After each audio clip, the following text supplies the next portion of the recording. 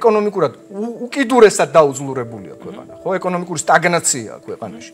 და ერთადერთი სარკმელი საქართველოსთვის ექსპორტ-იმპორტის კუთხით რუსეთთან თავისუფალი სავაჭრო ეკონომიკური ბრუნის თვალსაზრისით არის ძალიან მნიშვნელოვანი კომპონენტი. 67% ჩვენი ექსპორტისა მოდის რუსეთის ფედერაციაზე.